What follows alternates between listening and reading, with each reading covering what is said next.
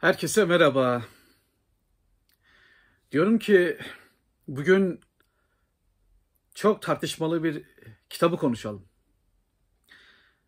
Charles Dickens'ın İki Şehrin Hikayesi kitabını konuşalım. Niye Charles Dickens'ın e, İki Şehrin Hikayesi kitabını konuşalım? E, çok tartışmalı bir kitap gerçekten. Hakikaten dünyanın en çok satan kitabı mı? E, dünyanın yazılmış en iyi dünya klasikleri e, romanlarından biri mi? Veyahut birilerinin iddia ettiği gibi Charles Dickens'ın yazdığı bir fiyasko roman mı? Tarih olayları çarpıtıyor mu? Tarihe saygısı var mı? Ee, perspektifi, hayata bakışı Charles Dickens'ın, romandaki genel bakış, sağlıklı mı, değil mi? Epey tartışmalı bir kitap. Ben de dedim ki şu epey tartışmalı kitaptan biraz bahsedeyim. Birincisi bu kitap nerede ararsanız arayın dünyanın en çok satmış kitabı, en çok satan kitabı, en çok satan romanı diye bir ünvanla anlatılıyor. Ee, hakikaten öyle mi?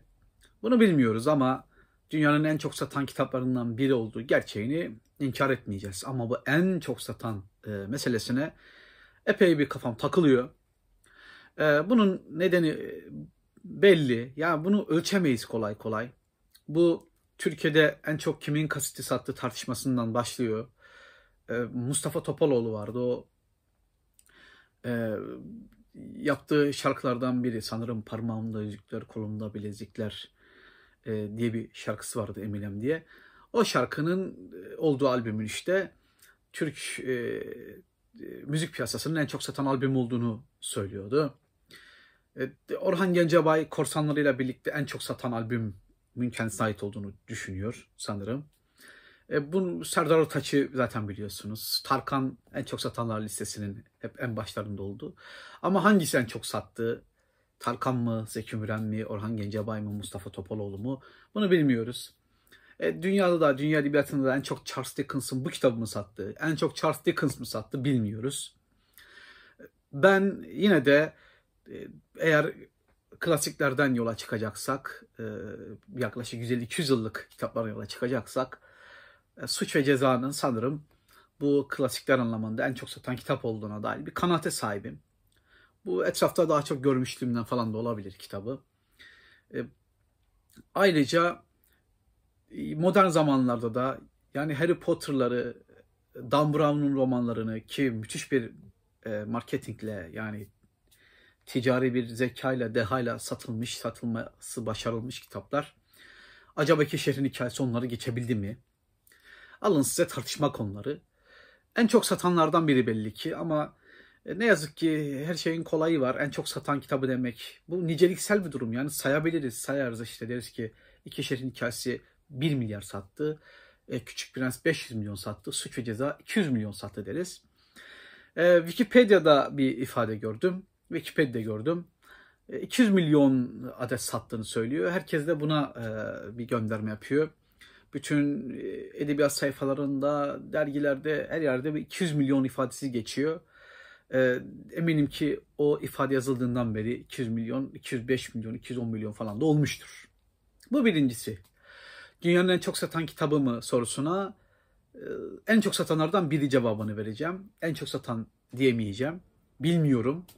Ama yine de ben illa birine oy verecek olsaydım, bir tahmin olsaydı oyumu Dostoyevski'nin suç ve cezasına verirdim ki büyük ihtimalle en çok o satmış gibi duruyor. Benim aklıma en azından o geliyor. Veya Madame Bovary'e verirdim oyumu. Vesaire. Bu buraya birincisi. İkincisi iki şehrin hikayesi 2000'lerin e, ortalarında Türkiye'de 100 temel eser diye bir e, liste yayınlandı biliyorsunuz. E, ortaokullar, ilk, ilk öğretim için ayrı, liseler için ayrı yayınlandı. Liseler için yayınlanan 100 temel eser listesinde öğrencilerin, lise öğrencilerinin mutlak okuması gereken veya onlar için önerilen, işte öğretmenler ödev verecekse buradan versin denilen listede biz Charles Dickens'ın İki Şehrin Hikayesi yani bu kitabını gördük. İki Şehrin Hikayesi kitabını gördük. Ee, ve o zaman ciddi bir tartışma ortaya çıktı. bazı edebiyatçılar, ben Murat Belge'yi hatırlıyorum mesela, e, başkaları da vardı. Dediler ki Charles Dickens'ın en kötü kitabı, başarısız bir kitap diyenler çıktı, berbat e, diyenler çıktı vesaire vesaire. Bu kitap e, Charles Dickens'ın en kötü kitabı olduğu gibi bu kitap kötü bir kitap mı? Bu kitabı başka çevirilerden okumaya çalışmış, gerçekten ciddi başarısızlıklar elde etmiş biriyim. Ancak bugün elimizde e, Mera Marvas can yayınlarından çıkan kitap, bu çeviri hiç fena bir çeviri değil. Bu çeviriyi rahatlıkla okuyabilirsiniz. En sonunda nihayetinde son tahlilde ben de iki şehrin hikayesi kitabını okumayı başardım öyle ya da böyle. Şimdi kitap kötü bir kitap mı sorusuna gelelim. Veya hakikaten e, dünyanın en çok satan kitabı, Charles Dickens'ın başyapıtı denilen ifadeleri hepsini yan yana koyalım. Bir kere bu kitap kötü bir kitap değil kesinlikle. Peki bu kitap Charles Dickens'ın en iyi kitabı mı? Bence değil. Yani Oliver Twist'in daha iyi olduğunu söyleyebilirim. Ama bu kitapların da birbirine benzediğini söyleyelim. Yani Oliver Twist, David Copperfield e, vesaire onlar birbirine çok benziyor kitaplar. E, ama bence bu Charles Dickens'ın en iyi kitabı değil.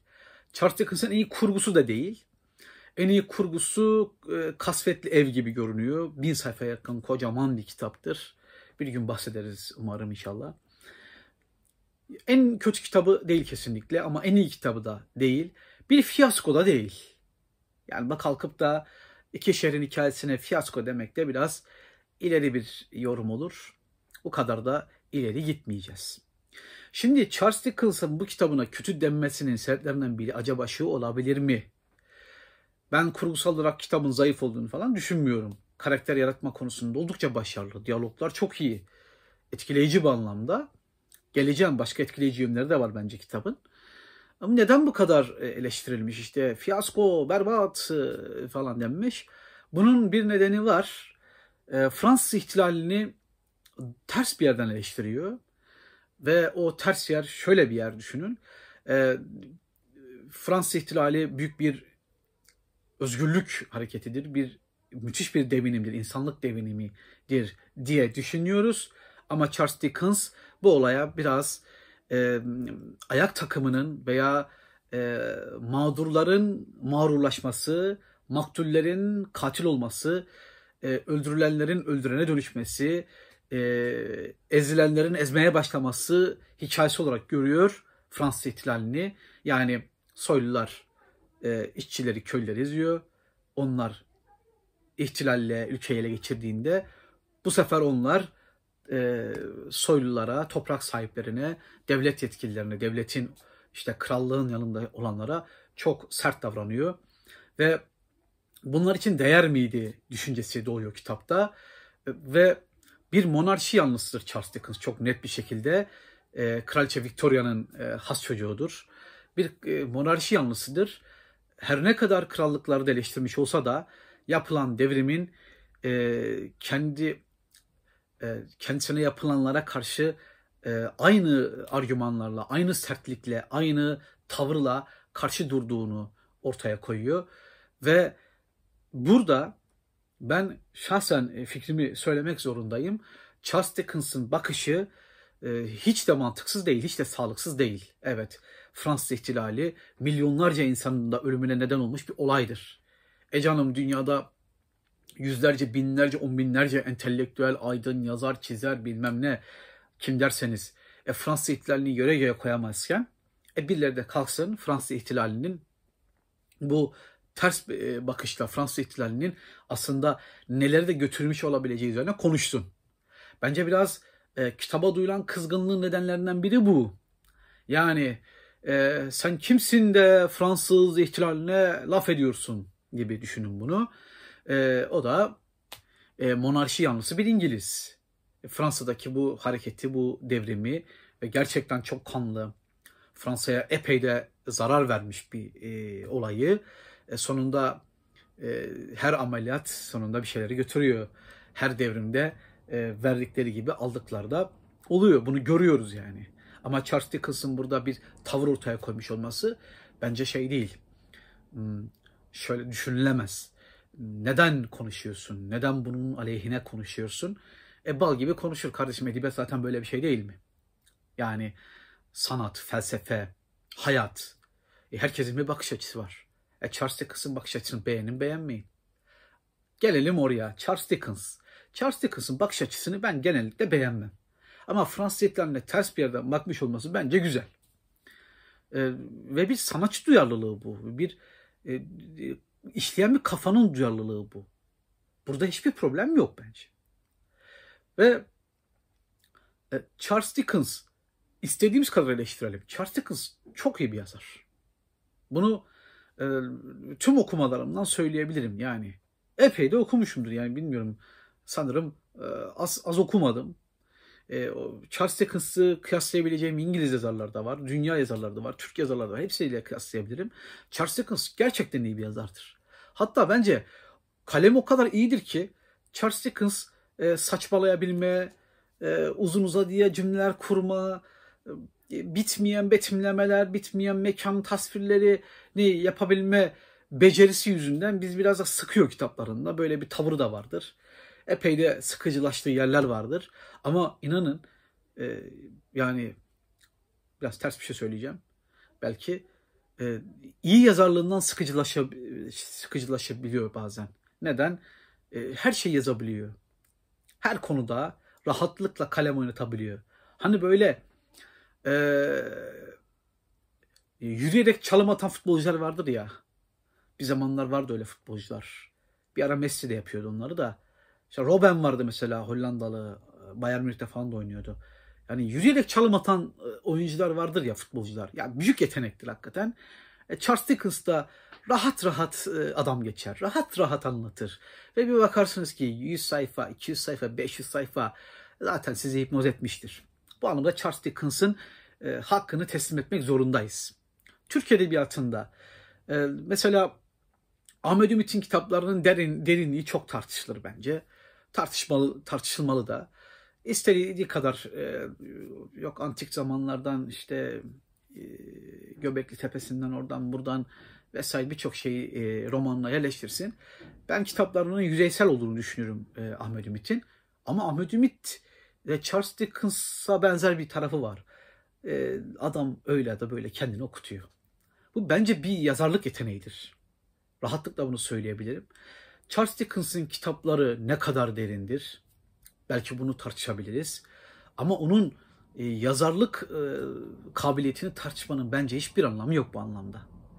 Ve Charles Dickens ister istemez Avrupa'nın en popüler e, yazarlarından, İngiltere'nin en popüler ve Avrupa'nın en popülerlerinden biri olduğu için Fransız ihtilaline karşı ya acaba e, bu ayak takımı e, kendisini sömürenleri, ezenleri e, sorgusuz sualsiz ezmemiş mi? Yani e, kötülüğe karşı çıkarken kötü olmamış mı sorusunu sorduğunda ister istemez e, etiketçiler, e, ihtilalciler, devrimi çok sevenler ister istemez çok kızmışlar Charles Dickens'a. Charles Dickens'ın üzerinde durduğu konu, üzerinde durulmayı hak eden bir konu bence. Ve bu kitap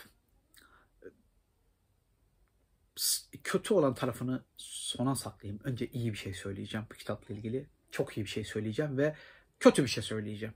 Çok iyi bir şey söylüyorum. Bu kitap dünya edebiyatının en güzel başlangıçlarından birine sahip. Şiirsel bir başlangıçla başlıyor kitap. Bu gerçekten etkileyici. Şiirsel bir başlangıçla başlamak. Ee, her kitapta görmezsiniz. Az kitapta görürsünüz. Çarpıcı bir yerden başlar. Yazara sanki ilham gelmiştir. İlham pedleri etrafını doldurmuştur. Ee, önce çok net, çok kısa cümlelerle başlıyor veya ifadelerle başlıyor. Sonra uzun uzadıya bir bakıyorsunuz ki o, o ip açılıyor, o şerit açılıyor ve karşımıza o yelpaze bir açılıyor. Rengarenk, harikulade bir dünya çıkıyor. Kitap nasıl başlıyor? Ee, ben e, Türkçesini okuduğumda birkaç tane ayrı çevirden gördüm, karşılaştırdım. Ya merak ettim acaba bunun İngilizcesi nasıl yazılmış diye. Charles Dickens'ın e, telifil olmadığı için her yerde bulabiliyorsunuz Charles Dickens'ın kitaplarını. Rahatlıkla bulabilirsiniz İngilizcelerini. E, Türkçelerini de rahatlıkla bulabilirsiniz. E, ben de şeyden buldum, uygulamaların birinden buldum. E, nasıl başlıyor? E, e, sürçülisan edersem affola. Önce bir orijinalini söylemeye çalışacağım. Umarım bir pot kırmam. E, artık yüksek müsaadenizle e, ben aklımda kaldığı kadar söyleyeceğim. Şöyle başlıyor. Kitabın girişi şöyle. E, it it was the uh, best of times. It was the worst of times. It was the age of um, wisdom. It was the age of foolishness. It was the epic of belief. It was the epic of incredulity. It was the season of light. It was the season of darkness. It was the spring of hope. It was the winter of despair. Sanırım baştan sona okuyabildim o çok beğendiğim bölümü. Orijinali buydu. Türkçesi nasıl? Naçizane çevirmeye çalışayım. Ee, yazarımız, çevirmenimiz e, bir çeviri yapmış. Hiç de kötü bir çeviri değil. Yani okuduğumuz bölümde bu kitabın ilk paragrafı devam ediyor sonra. iki paragraf, üç paragraf böyle güzel bir giriş var. Ama burası gerçekten şiirsel olmuş. Zamanların en iyisiydi. Zamanların en kötüsüydü. Akıl çağıydı. Ee, akılsızlık ya da aptallık çağıydı. Ee, inanç e, çağıydı. İnanç devriydi. Şüphe devriydi. Ee, ışık mevsimiydi. Karanlık mevsimiydi. Umudun baharıydı. Umudun baharındaydık. Ee, umutsuzluğun kışındaydık. Umutsuzluğun kışıydı gibi bir çeviriyle başlıyor kitap. Ve gerçekten şey var. E, Charles Dickens e, bir olaya o Fransız ihtilalinin öncesine ve sırasına e, iyi, en iyi olay ve en kötü olay, aydınlığın yükselmesi ve karanlığın yükselmesi, umutsuzluğun artışı ve umudun artışı hepsini iç içe görmüş. Bu anlamda diyalektik diyebiliriz buna rahatlıkla. Bunu rahatlıkla anlatmış. Kendince anlatmış. Bence Charles Dickens'ın en cesur iki kitabından biridir bu. Diğeri de Kasvetli Ev'dir. Bu kitapta da İngiliz hukukunu, hukukunu eleştirdiği dönemler var. Sadece Fransa eleştirmiyor, İngiltere'yi de eleştiriyor. İngiltere'deki mahkumiyetlerin, e, idamların artık bir cinayet e, durumuna geldiğini düşünüyor. Bir insanlık suçu olduğunu düşünüyor e, Charles Dickens. Hatırlarsanız Victor Hugo'nun da idamlarla ilgili böyle bir kitabı vardı. Bir idam mahkumunun son günü. Çok da sevmediğimi söyleyen, e, ifadem bir video yapmıştım. E, ama mesela Kasvetli Ev kitabında Charles Dickens'ın e, İngiliz hukuk sisteminin nasıl Arap saçına döndüğü ve artık trajikomik bir olay üzerinden bir kara mizah üzerinden onu nasıl anlattığını görmüştük. Şimdi bu geri gelelim. O muhteşem giriş zamanların en iyisiydi, zamanların en kötüsüydü. Akıl çağındaydık, akılsızlık çağındaydık. Umutsuzluk e, kışındaydık. E, umudun e, baharındaydık. E, her şey iç içeydi. Yani e, Fransa'nın e, bir şey doğuracağı belli. Avrupa'nın bir şey doğuracağı belli. Sanayi inkılabı, ardından Fransız ihtilali. Hatta Amerika'nın e, özgürlük hareketleri. Bir şey doğacağı belli. Ama ne doğacak? Melek mi doğacak, şeytan mı doğacak? İyilik mi doğacak, kötülük mü doğacak? Pandora'nın kutusundan, Pandora'nın kutusundan ne çıkacak? Umut mu çıkacak, umutsuzluk çıkacak? Üzerine bir kitap. Kısaca tekrar edeyim. Kitap Dickens'ın en iyi kitabı değil. Ama bu kitap kötü bir kitap değil. Bu kitap e, dünyanın en çok satan kitaplarından biri. Ama en çok satan kitabı diye o e, ticari ifadeyi ben kullanmak istemiyorum. Ki bu niceliksel bir durum. Yani en sevdiğim kitap deseydim siz bana bir şey diyemezdiniz. Sonunda en çok sevdiğim kitap buysa budur. Öyle düşünüyorsam öyledir. Ama en çok satan kitap bu dediğimde işler epey bir karışır. Kitapla ilgili iyi haber muhteşem girişiydi. E, devamı da var. Kitabı bulun bence okuyun. E, ama şey diyeceğim. E, kitabın kötü tarafı şu. Videoyu kesmeyelim devam edelim bence. Böyle daha iyi. E, kitabın kötü tarafı şu. Kitapta e, mekanlar çok değişiyor. Kişiler birden değişiyor. Yani böyle e, uzun bir dizi izliyorsunuz. O dizide birbiriyle ilgili ilgisiz bölümler varmış da hepsi bile bağlanmış gibi hissediyorsunuz. Bence e, okuyucuların bir bölümünün sıkılmasının nedeni bu. Yani bir tek kişi üzerinden, bir tek e, olay üzerinden e, mevzunun anlatılmıyor oluşu. Epey bir yan olay var. E, devamlı dediğim gibi e, mekanlar değişiyor ve hatta zaman geçişleri bile çok fazla. Bu okuyucunun dikkatini dağıtan bir unsur olarak e, karşımıza çıkıyor. Bu Charles Dickens'ın kitaplarında e, az çok görülen bir durumdur. Hiç de az görülmez. E, Kasvetli Ev bin sayfa bir kitaptır. Onda da bunu görürsünüz. Ama Charles Dickens yani böyle büyük bir şey yapıyor gibi. E, film çekiyor gibi. Yani veya çok e, uzun emek verilmiş bir e, Netflix dizisi çekiyor gibi. Bunu görüyorsunuz e, ve biraz dikkatinizi oraya vermeniz lazım. E, 1850'lerde filmler yoktu, diziler yoktu, e, uygulamalar yoktu ama Charles Dickens vardı. İşte Charles Dickens da gördüğünüz bu kitabı yazdı. Dediğim gibi felaket çevirilerini okudum. Felaket çevirilerini okudum. Ben bu çeviri okudum en son. Bu çeviri e, fena bir çeviri değil. İyi bir çeviri yani. E, lütfen kötü çevirilerle, kötü e, şeylerle, e, alıntılarla vesaire e, okuma zevkinizi mahvetmeyin.